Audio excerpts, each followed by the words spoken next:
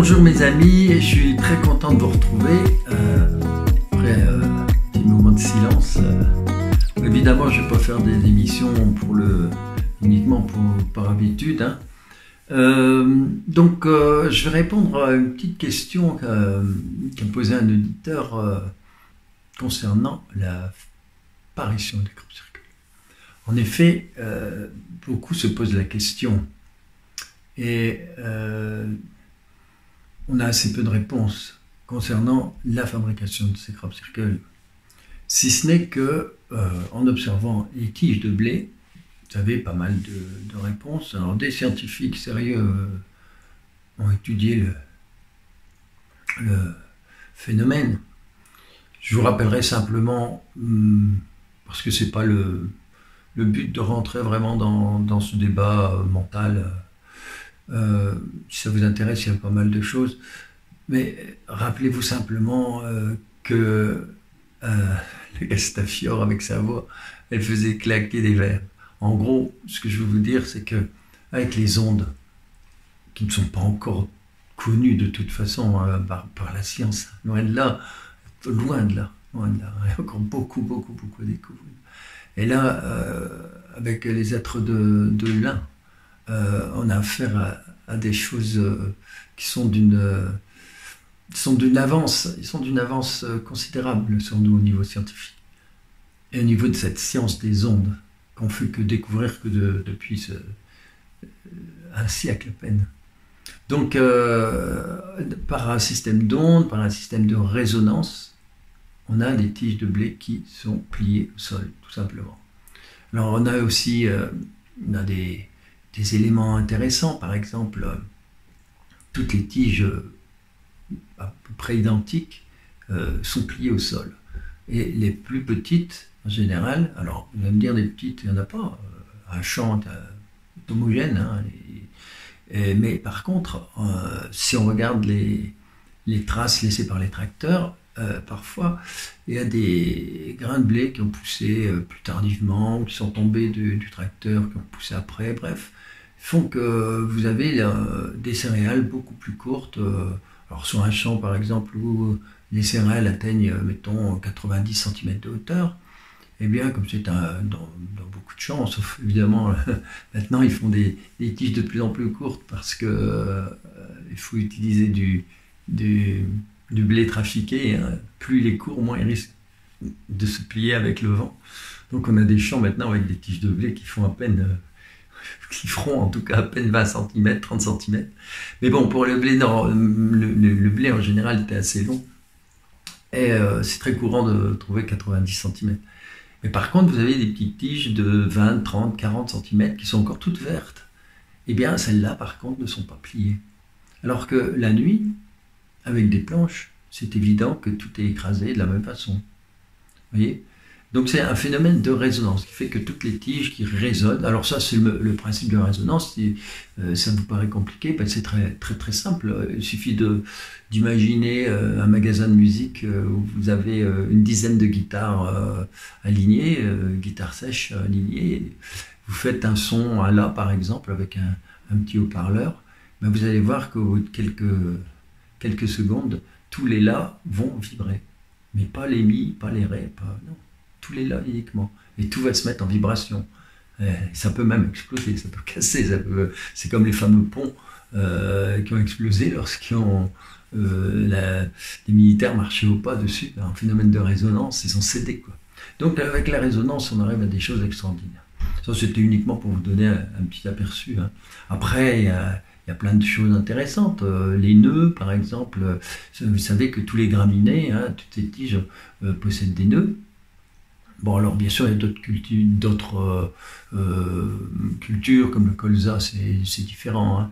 Mais mm, on a là d'autres preuves, d'autres choses intéressantes. Par exemple, le colza, qui est fragile comme du verre, euh, en général, lorsque on voit un vrai crop circle, un beau crop circle, ben, comme par hasard, toutes les fleurs, toutes elles sont magnifiquement belles et elles sont au-dessus, elles ne sont pas en dessous, elles sont, tout, tout a été plié avec soin de, voilà, une sorte de grande caresse sur le champ. Et alors donc, euh, concernant les graminées, mais vous avez très souvent, parfois même, des, des nœuds qui sont éclatés, éclatés de l'intérieur, par trop de pression. C'est suivant, hein, s'il y a de l'humidité, trop de sécheresse ou autre, etc. Euh, c'est toujours un peu différent. Parfois, ils sont simplement gonflés. Parfois, sont tellement gonflés qu'ils peuvent atteindre 3, 4 fois, 5 fois la, taille d'un nœud normal, etc. Donc, vous voyez, c'est des choses qu'on ne voit pas dans, le, dans un crop circle, par exemple, fait par des, avec des planches. Euh, ensuite, il y a des courbes aussi. Vous avez toute une série de dessins où vous avez des tiges qui sont courbes, et en fait, elles sont courbées, et on voit ce sont les nœuds qui sont légèrement courbés et qui sont étirés en plus. Donc, il y a énormément de choses qui permettent de se rendre compte que euh, dans les circles, il y a un phénomène, phénomène extraordinaire. Notamment aussi des, des tiges très coudées, très très coudées, voire presque à 90 degrés. Et évidemment, on va vous dire que c'est, euh, ce sont des tiges qui se relèvent avec, euh, euh, naturellement. Mais bien sûr, c'est évident. Ça s'appelle, il y a un effet, lorsqu'une tige de blé ou de graminée quelconque est au sol, le, les nœuds servent justement à ça. Donc, au niveau des nœuds, vous avez la tige de blé qui va, c'est comme un, muscle, qui va se relever et au bout d'une semaine, il faut compter une semaine, j'ai fait des expériences, au bout d'une semaine, vous avez la tige qui a, repris le dessus, c'est-à-dire qui est, qui, est, qui est remontée vers la lumière, la verticale. Euh, seulement, quand vous, apercevez un crop circle qui vient juste d'être euh, découvert et que euh, au bout de quelques heures, vous voyez toutes les tiges à un certain endroit qui sont pliées à 45 degrés ou plus, à 60 degrés parfois, toutes dans la même direction, par terre, là, il n'y a aucune autre réponse. Bon, maintenant, euh, il y a eu tellement d'expériences. Euh. je connais même un agriculteur qui s'est amusé à garder des, graines d'un crop circle, il avait gardé toutes les graines. Et un jour, euh, et il est allé dans, dans son hangar pour, pour récupérer ce, blé, et il s'est aperçu que les souris avaient mangé le blé qu'il avait conservé. Ils n'avaient pas mangé l'autre, ils avaient mangé celui des crop circles simplement parce qu'il n'y a pas photo au niveau énergie. Alors il y a aussi d'autres euh, expériences extraordinaires qui ont été faites. Hein. Euh, je dis ça rapidement, en passant comme ça. Peut-être un jour je ferai une émission là-dessus. Les graines de blé, lorsque vous les mettez en, germination, euh, eh ben, on s'aperçoit que les, graines du crop circle peuvent aller grandir 4 à 5 fois plus vite que les graines prises dans, le reste du champ. Il y a eu beaucoup d'expériences faites comme ça, c'est tout. C'est qu'elles ont pris des énergies, elles sont différentes, ça, se voit au niveau de... Puis après, il y a encore d'autres raisons, d'autres choses. Hein. Par exemple, les crop circles euh, fantômes, comme on dit, c'est-à-dire que l'année d'après, la Terre a bougé et puis euh, les crop circles réapparaissent. Bon, voilà. Alors aujourd'hui, ce que je voulais vous dire, c'est... Euh, bien sûr, on, attend avec impatience euh, les nouveaux crop circles de cette année. Et on a beaucoup de difficultés d'ailleurs parce que c'est la désinformation en fait. avant, enfin il y a quelques années, il suffisait d'écrire crop circle connector par exemple, on, l'avait tout de suite, tout de suite les sites. et maintenant c'est de plus en plus difficile. Même crop circle connector qui est un site anglais euh, formidable qui recense tous les crop circles. Mais même lui, maintenant, euh, a des difficultés à l'avoir. Il y a des tas de, tas de choses intermédiaires. Euh, c'est la même façon de, de, noyer le poisson. Vous voyez, mes mon site, c'était la même chose. Pour noyer mon site, ils ont mis des, des tas de choses complètement stupides, inintéressantes avant, qui prennent toute la place, ce qui fait que les, gens ils tombent là-dessus et puis on va plus loin. Quoi. Et là, c'est pareil. Donc, vous voyez, ça va être de plus en plus difficile. Il faut sans arrêt aller chercher, aller à la pêche et puis euh, se renseigner. Voilà. Sinon, euh, au niveau de l'actualité, je m'aperçois que les choses avancent, euh, avancent tranquillement. Il suffit de regarder aux États-Unis ce qui se passe avec notamment Trump. Hein. je pense qu'il y en a beaucoup qui vont commencer à être terrorisé parce que n'oubliez pas que la vague va arriver de là-bas. Hein, euh, une fois que l'état Hein, vous avez compris, ben, une fois que l'état P va tomber, le poudré va tomber, euh, tout, est, tout se révèle et tout va dans le sens. Hein. D'ailleurs, il n'y a pas longtemps, j'entendais euh, le poudré qui rappelait, oui, le Capitole, nana, insurrection. Ouais, il n'y a pas eu d'insurrection au Capitole. Tout ça, c'est, on sait que ça a été monté. Euh, on a toutes les preuves maintenant avec les, les, centaines de films qui ont été tournés par des caméras de, surveillance et qui montrent qu'en effet, tout ça, c'est une grande supercherie. Mais euh, chaque chose arrive en son temps. Voilà. Donc aujourd'hui, je vais vous parler de quelques crop circles qui m'avaient bien intéressé, euh, qui, étaient, restent en mémoire. J'en ai pratiquement jamais parlé. Euh, de façon, au niveau géométrique, ça m'intéresse pas mal. Alors vous avez un crop circle qui est apparu en 2010 à Danbury Hill. Danbury Hill, c'est un, magnifique lieu disons, de, c'était une fortification, entre guillemets, ou une enceinte sacrée, euh, il y a à peu près 3000 euh, ans, l'âge de, chez les Celtes.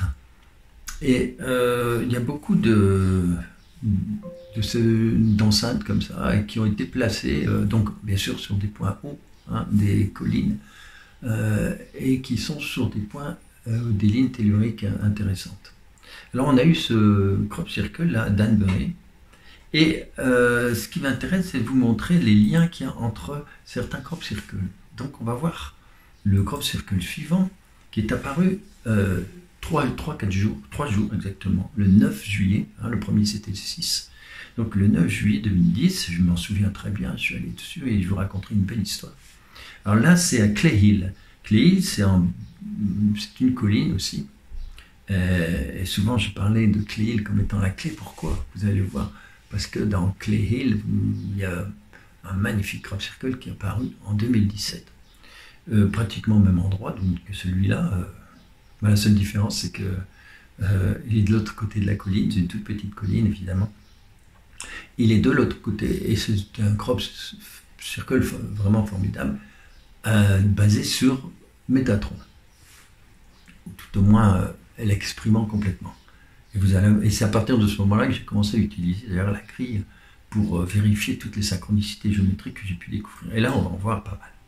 Donc voilà euh, une petite image justement où on voit le, crop circle de Clay de 2010 qui est assez euh, exceptionnel pour l'époque. Exceptionnel aussi par, donc par son dessin, comme vous le voyez, hein, et puis par les tiges qui sont pliées. Là, c'est assez amusant parce qu'on voit vraiment euh, euh, des petits plots, c'est-à-dire qu'on a plusieurs couleurs qui apparaissent. On a, on a une couleur très claire qui est liée au, au fait que les, les, tiges sont complètement rabattues au sol. Euh, on a une couleur grise, comme des petits points d'imprimerie, et c'est lié au fait que là, on a des petits plans, les plans de, céréales qui sont debout et à chaque fois des plans sur les côtés qui sont pliés. Donc là, c'est un travail de, un travail de, fourmi. Hein. Et comme je vous disais tout à l'heure, euh, un travail avec les, performances euh, au niveau vibratoire, évidemment, en résonance. Donc euh, voilà quelques images qui vous montrent tout ça. Ensuite, sur Cléil, il y a eu ce crop circle de 2017. Extraordinaire crop circle qui est apparu en juillet aussi, et non pas le 17, mais le 18. Et là, on a, on a vraiment la, grille de Métatron. Euh, euh, surtout, imaginez que les crop circles, c'est en, c'est pas plat hein, en fait. Euh, dans la réalité, c'est, c'est énergétique, c'est en trois dimensions. Hein. Là, on a tout à fait la, la, grille de Métatron, magnifique. Et je vais vous la montrer après parce que je vais les superposer.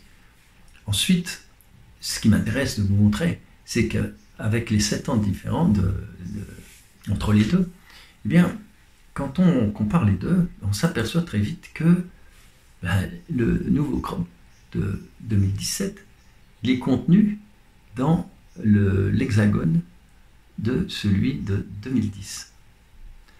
En effet, euh, on a euh, un dessin géométrique qui, coïncident. Et c'est facile puisqu'on est sur une base de 6. Mais alors le plus, le plus amusant, et c'est là qu'on voit toute la cohérence, et qui fait que euh, à l'époque, je ne savais pas, mais un peu plus tard, quand j'ai utilisé la grille Métatron, bah, j'ai ce qu'on appelle les synchronicités. Là, on a une synchronicité très intéressante. Vous voyez, si j'enlève la partie euh, centrale de, de ce crop circle de 2017, eh bien, je retrouve exactement le cube à l'intérieur qui correspond en fait au cube central de, du crop circle de 2010 les deux sont en symbiose, sont complètement euh, euh, en harmonie. C'est bon. Pourquoi? Parce qu'ils sont, en fait liés à la même trame, hein, tout simplement. Et le troisième que l'on a vu, donc en premier, c'est exactement pareil. On va le voir. Donc je vous, montre ces deux, ces deux crop circles qui sont euh, tous les deux extraordinaires, hein, magnifiques.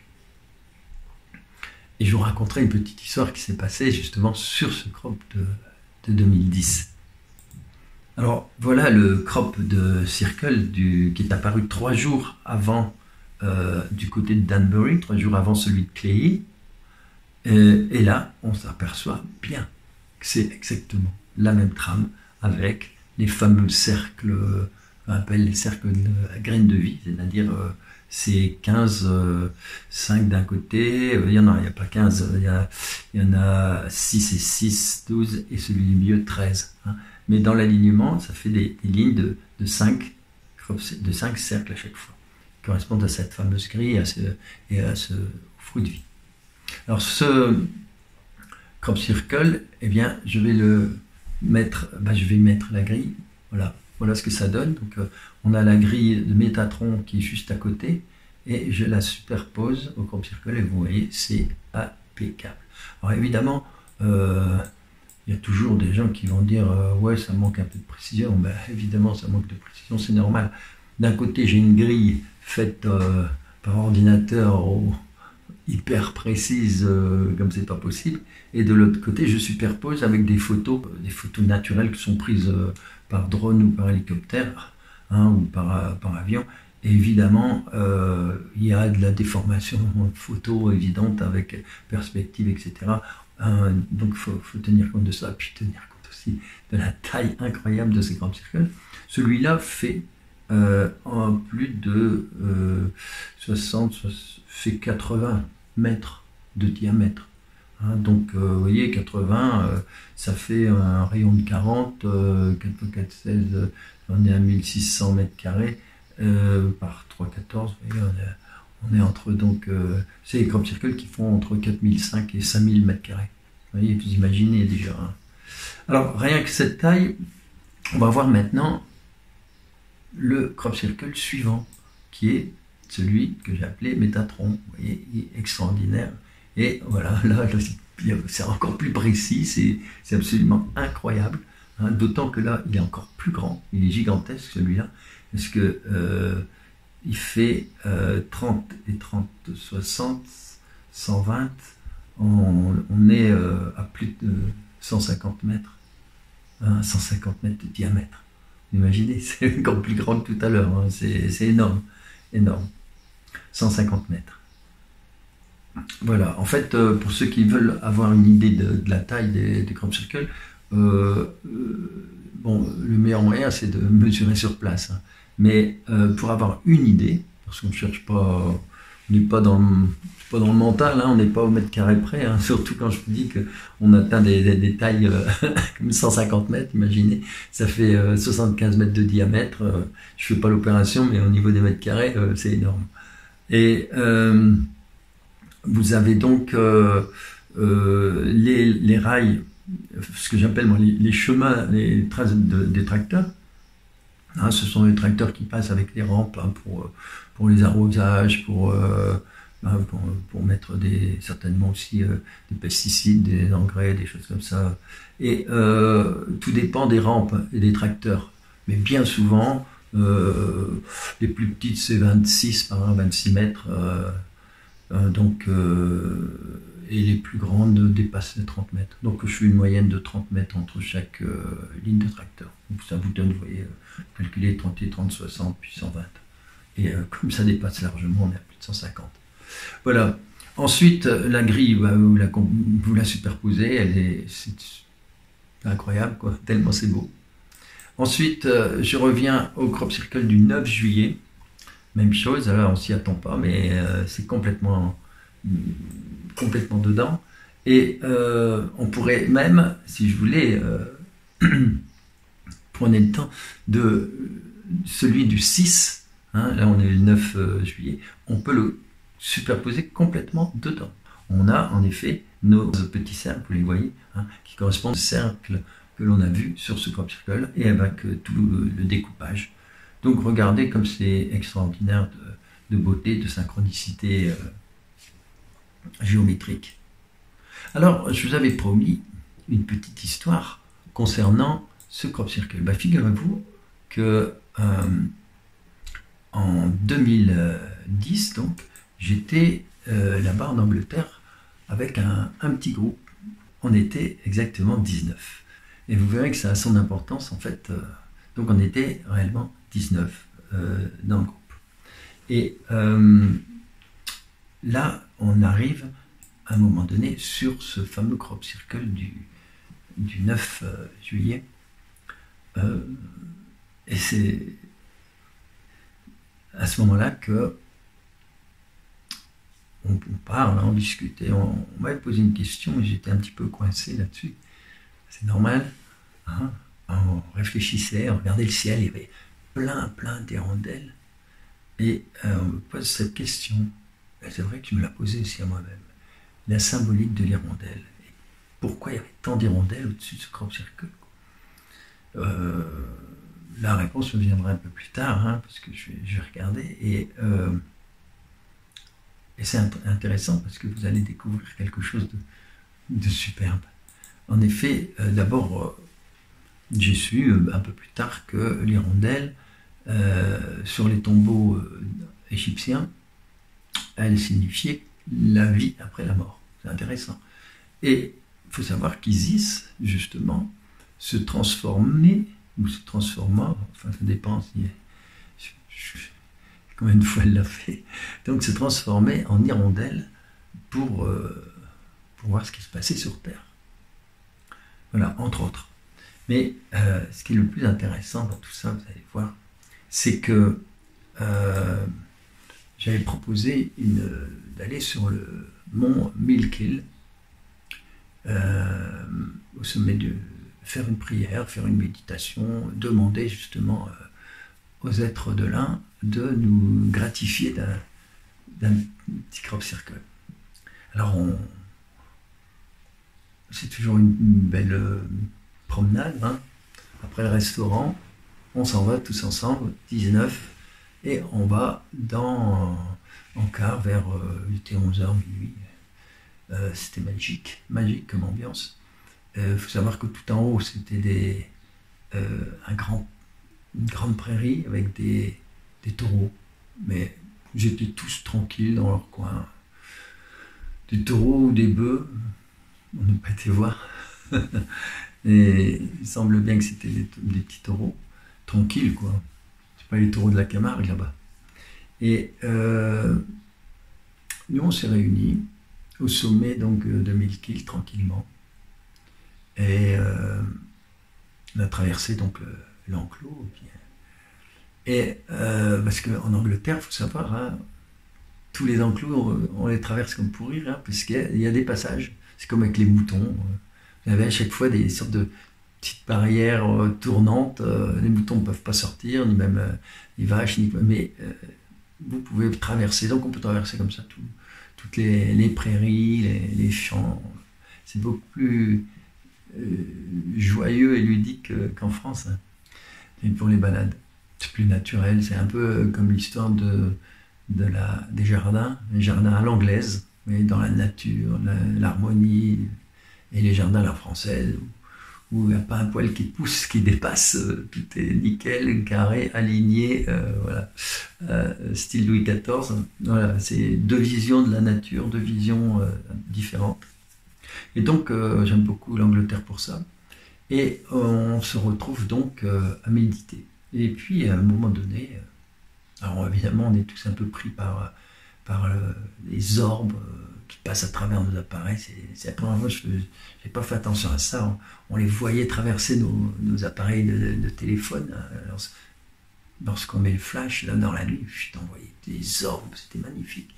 Et euh, on se fait notre petite méditation, intention, en, demandant justement comme circuler. Et après la méditation, il y a une dame qui était juste à côté de moi, à ma gauche. Et j'ai remarqué, c'est souvent le cas. J'ai toujours eu euh, des messages qui venaient d'une dame qui à gauche, c'était trop curieux. Quoi. Et euh, elle me dit, euh, j'ai vu dans notre méditation, j'ai eu un flash, j'ai eu un rêve, un, rêve éveillé, j'ai vu une magnifique, un magnifique oiseau, une hirondelle, en crop circle. Alors, ok, je retiens on descend, c'était magique, hein, imaginez la nuit là-haut. Euh, et puis euh, le lendemain, on s'en va. C'était notre dernière soirée. On est dans le bus à 19, comme je vous disais, et euh, il y a l'organisatrice des, voyages qui n'était pas avec nous, elle était, elle était restée parce qu'il y avait un deuxième groupe euh, qui était euh, en décalage hein, au niveau temps et qui était donc encore là euh, pour quelques jours. Et ce groupe, bah, il se dirigeait vers le fameux crop circle qui venait d'apparaître. Alors évidemment, elle me téléphone parce que elle savait que la, veille, ou l'avant-veille, pardon, c'était l'avant-veille plutôt, je me, trompe, c'était l'avant-veille, on était, on avait fait une méditation au sommet de, la colline, etc., pour demander crop circle. Alors évidemment, mes téléphones me dit c'est incroyable, nos euh, repères c'est le cheval blanc, et il y avait ce là grand. Alors moi, il y a mon téléphone euh, dans le bus. Euh, d'abord, je, je, suis très agréablement surpris, et je lui dis mais à quoi il ressemble? Est-ce que tu peux voir à l'avance? Ben écoute, euh, je suis avec le groupe, euh, l'autre groupe, elle, était, elle dit, euh, de loin, on voit beaucoup de cercles. Beaucoup de cercles. alors, il y a, bien sûr, je suis dans le bus, il y a tout le monde qui m'écoute, on est tous curieux.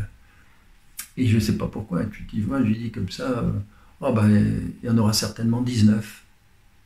Et en fait, ce qui s'est passé, quand elle est arrivée sur place, et qu'ils ont eu la vision euh, un peu plus tard de photos aériennes, eh bien, euh, il s'est avéré que c'était une hirondelle avec 19 cercles.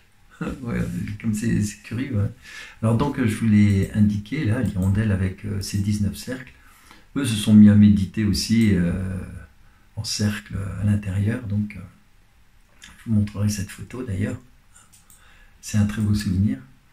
Et euh, voilà donc la merveilleuse euh, hirondelle avec ses, 19 cercles. Ce qui est amusant d'ailleurs, c'est que la tête, moi j'avais noté comme ça, hein, la tête, on voit euh, le cercle numéro 7, puis qui est bien dessiné, merveilleux. En fait, symbole de la merveille, on est au centre. Mais alors, ce qui m'a surtout étonné, quand j'ai vu ce, cet oiseau, c'est le fait qu'il y en ait 19. 19 cercles. Je me suis dit, c'est incroyable. C'est 19, c'est comme une réponse euh, à ce qu'on avait fait, quoi, à notre méditation. Et c'était une réponse aussi à ce qu'on cherchait lorsque, quelques jours avant, ou la veille, je ne sais plus euh, exactement, on était dans le crop circle où il y avait le magnifique cube et où on, parlait des hirondelles. On avait cherché signification, etc. Vous voyez, tout est relié. Et alors, ce qui est amusant, c'est que tout au bout de chiffre 19, il y a un petit cercle, et puis il y a une, espèce de, fourche euh, à trois doigts, hein, trois pointes. Et alors, en fait, là, moi, j'ai rigolé parce que c'était une signature compris tout de suite. C'est instantané, hein, en fait. Euh, après, on dira ce qu'on voudra. Mais instantanément, j'ai compris. Parce que dans le groupe, il y avait une personne qui était toujours à la queue, qui n'était jamais avec le groupe, qui était toujours, toujours, toujours à la queue, c'est le cas de le dire. Et ce qui est amusant, c'était une personne qui, bon, qui était bien branchée, qui, puis qui s'amusait, qui captait. Et elle avait un petit, c'était peut-être un tic, mais euh, pour sentir les énergies, elle sortait toujours ses trois doigts, comme un, petit peu les, pas de doigts, comme on dit chez les druides. Et donc, euh, quand j'ai vu ça, j'ai tout de suite compris. Hein. voilà, c'était un peu remerciement pour le groupe. Et alors, elle me dire, oui, tout ça, c'est des interprétations, ok. Sauf que, sauf que, quelques temps plus tard, une personne qui est allée voir un médium et qui lui a parlé de, de crop circle en disant euh, qu'elle est allée sur un crop circle en forme de d'hirondelle et qu'elle aurait bien aimé euh, en savoir un peu plus. Et alors voilà la réponse géniale. Voilà ce que dit cette médium qui canalisait, euh, ou ce canal, ce channel, si vous voulez. Et voilà ce qu'elle dit. Vous avez reçu dans les blés l'énergie qui est un appui, une aide ou un soutien pour vous aider à vous dégager de ce qui vous maintient encore dans l'hésitation, dans la non-intuition. C'est important ça, qui vous maintient. En fait, à l'époque, on était encore aussi dans l'hésitation et beaucoup de doutes. Et aussi euh, un manque d'intuition, car euh, le doute euh, est souvent là lorsqu'on ne tient pas compte de l'intuition. Alors, elle continue. Vous étiez au creux du vallon qui génère l'élan de vie, le vallon d'Isis. Alors, c'est amusant parce que ce grand vallon, quand je vous avais parlé de, l'hirondelle avec Isis, on retrouve ça. Et c'est ce grand vallon qui est très énergétique, euh, parce que derrière la ligne Marie qui passe là, c'est en bas du cheval blanc, et il y a tous les ans, tous les ans, des crop circles. Il y en a tous les ans, pratiquement. Il y en a eu énormément. Et quelquefois, il y en a deux, voire trois crop circles. C'est énorme, c'est magnifique. Donc, euh, quand on a cette phrase, euh, on comprend ne plus hésiter à accepter et écouter votre intuition. Et là, c'est un message universel. C'est un message euh, intemporel, en fait. Donc, accepter d'abord. En général, le problème, c'est qu'on ne l'accepte pas. Hein. Et surtout, après, l'écouter. Donc, la travailler, en fait. Et ça m'a fait beaucoup de bien, parce que à partir de 2010, euh, bon, ça m'a renforcé sur tout ce que j'avais découvert déjà depuis plus de près de 10 ans. Alors c'est un bienfait que vous avez reçu, nous ici à vos côtés, les êtres d'Acturus. Et j'aurai beaucoup, beaucoup de confirmations plus tard concernant les Acturiens, hein, n'est-ce pas? Nous vous disons ceci pour vous complimenter de votre courage et de votre élévation qui va s'en suivre par la transformation de votre ADN et de tout l'ensemble de vos cellules. Bon, ça, euh, on le sait maintenant. Hein. Ils sont nombreux, euh, et c'est ça qui est intéressant, hein, sur Internet, à parler de ce qui se passe en ce moment, avec ces énergies qui arrivent, avec cette montée en vibration, cette transformation qui va s'en suivre, qui est transformation évidemment de l'ADN, tout, vient de là, la conscience qui monte, la conscience se répercute sur l'ADN, qui euh, évidemment qui renseigne nos cellules, et, bon, c'est le grand cercle de, la vie. Hein. donc, euh, je répète la phrase parce qu'elle est très belle. Hein. C'est donc euh, un bienfait que vous avez reçu, nous ici à vos côtés, les êtres d'Acturus nous vous disons ceci pour vous complimenter de votre courage et de votre élévation qui va s'en suivre par transformation de votre ADN et tout l'ensemble de vos cellules. Alors ensuite, la dernière phrase, regardez cet oiseau comme le symbole, entre guillemets, alors le symbole c'est voler de vos propres ailes, la liberté. L'oiseau réunit les qualités de l'agilité, légèreté dans l'air, il sait flotter, il a la vision élevée du soleil et la notion des saisons c'est surtout important de comprendre que dès 2010, hein, dans les canalisations, on insistait bien sur ce niveau de souveraineté, de liberté. Et ça, on en était déjà, déjà mais c'est quelque chose qui, monte, qui monte, qui monte en pression. Et l'éveil se fait de plus en plus grâce à ça actuellement. Et c'est pour ça que je rejoins l'idée de, tout à l'heure, euh, si je ne déjà, me souviens plus, euh, quand je vous disais qu'en effet, avec euh, Trump, il y a cette notion de liberté. N'oubliez pas qu'en 2019, c'est lui-même qui avait dit que la victoire serait de toute façon aux patriotes. Donc le, sens, le sens important du patriote, c'est celui-là, c'est aimer et être surtout souverain, aimer la liberté. C'est ça le, sens, le vrai sens. Voilà pour ce magnifique message de, 2010. Bon, euh, avant de nous quitter, je vais tirer une petite carte. Euh, alors n'oubliez pas entre-temps euh, de partager. Hein, c'est la meilleure façon pour nous de passer au-dessus de, tous les tous les systèmes de contrôle euh, qui permettent de faire passer la désinformation devant toute la bonne information. Hein, ce sont tous ces systèmes qu'il faut combattre simplement en étant solidaire et en partageant, en mettant des pouces, en mettant des, des petits messages. Parce que c'est ça aussi qui fait avancer. Hein. Je ne vous aurais pas parlé des, des crop circles de cette façon-là si j'avais pas eu, euh, il n'y avait pas eu quelques auditeurs pour me poser la question de justement de, des tiges. Alors, qu'est-ce que j'ai sorti? Un crop circle qui nous dit accepter ce qui arrive. Accepter ce qui arrive. Et c'est un magnifique euh, pentagone. Alors, euh, je vous montre. C'est euh, dans le wheelchair, bien sûr. Hein. Et on a le tracé de l'étoile et le tracé du pentagone qui vient se, se superposer. Alors, il y a plusieurs façons de s'éveiller spirituellement. Vous utilisez celle qui vous convient le mieux. Ben, ça, on s'en rend bien compte. Hein, de toute façon, c'est pour ça qu'il faut être patient, hein, étant donné que tout le monde ne se réveille pas en, même temps. Vous n'avez pas à juger l'autre ni à vouloir le changer. Donc ceux qui sont impatients, il y a un travail à faire. Hein. Chacun agit en fonction de sa propre vérité. On ne peut pas aider un papillon à sortir de son cocon, sinon il ne pourra jamais déployer ses ailes.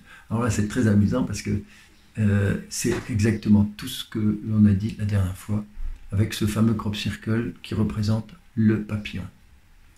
Hein, donc, euh, je vous remettrai en, en lien pour euh, ceux qui ne l'ont pas vu. Rien n'est définitif et rien ne nous appartient jamais. Apprenez à découvrir ce qui vous entoure et apprenez à ne pas juger. Vous allez aussi recommencer ce que vous avez fait jusqu'à ce que vous compreniez qui vous êtes. Je crois que c'est explicite, hein, il n'y a pas besoin d'en rajouter. Hein. Alors je vous dis à bientôt. Euh, J'en referai une autre. Là, je ne suis, pas, suis pas en France, donc euh, je bidouille avec mon petit ordinateur et mon téléphone. Et je vous dis à bientôt.